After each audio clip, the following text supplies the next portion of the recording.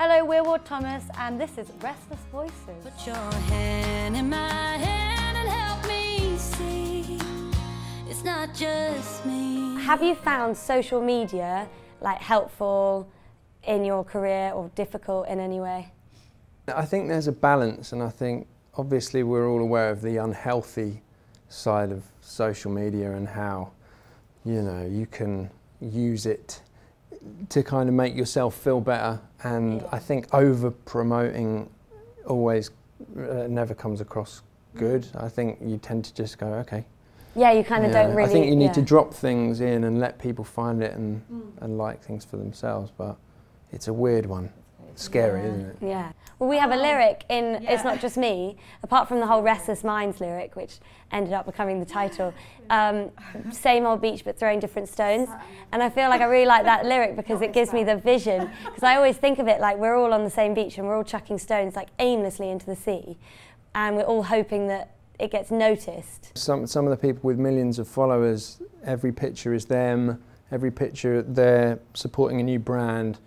I don't look at them and think, I wish I had your life. I, I look at them and I think, I'm, I've got the feeling that you might not be happy, and I hope you can sort that out if that's the case. I think it's becoming more and more apparent now that that kind of front on social media is not a real front. Yeah, they follow it, Yeah. and subconsciously they're soaking up all these false messages Yeah. that make them feel like. But I think you have I'm to get to enough. that place. Yeah. Eventually, people will take a step back from social media. Yeah. They say like if you take your shoes off and stand on bare grass for like five minutes, how you can reconnect. Like just having we're the only, I guess, living things that don't have don't feel the actual earth like beneath our feet.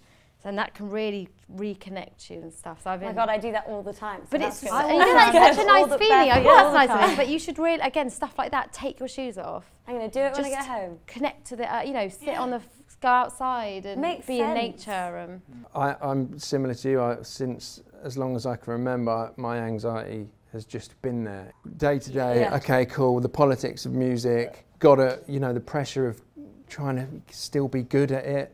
Of, of are you still relevant? I haven't had a song out for so long, like, or, or this amount of time. It's it's like It's like the sort of anxiety that you're going to be found out. oh, it's Well- um, Mm. imposter syndrome. Yeah, yeah, imposter syndrome, where like My I feel whole like that all the time, where I'm Right like, now. one day someone's going to because I it's feel like such that a every weird day. thing. What I s- what I think is still a, quite a taboo subject is is counselling um, uh, and therapy. I, I think it's something that I I feel embarrassed sometimes to talk about, but I'm becoming more open with just bloody talking about it because one that doesn't have to be. I think in the past it's been like oh, only only rich people go to therapists or this, that, and the other. And I think yeah, that's not the case, and that shouldn't just Yeah. be the case. Like you can get No. it through NHS. It, you could get it through just someone who understands you. I think just talking is is is a, is a form of therapy in itself, and, and that's all therapy is: is learning about yourself, learning about why you think in such a way,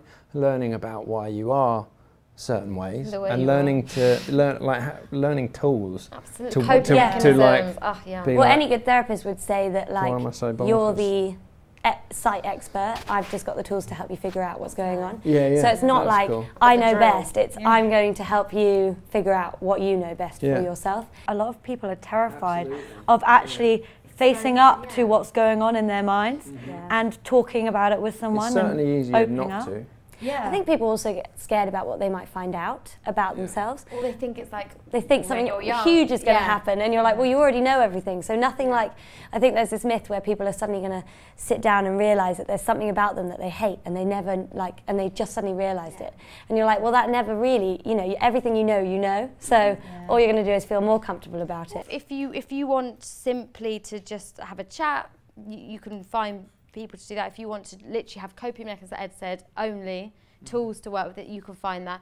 If you want someone to be kind of, which I did, straight with me, and just to kind of just shunt my brain back to, it's stop overthinking everything, please. You're fine. There's someone out there for everyone. You know, there is. Yeah. Knowing the triggers, knowing when to, Yeah. uh, knowing why. I think that was the, the thing.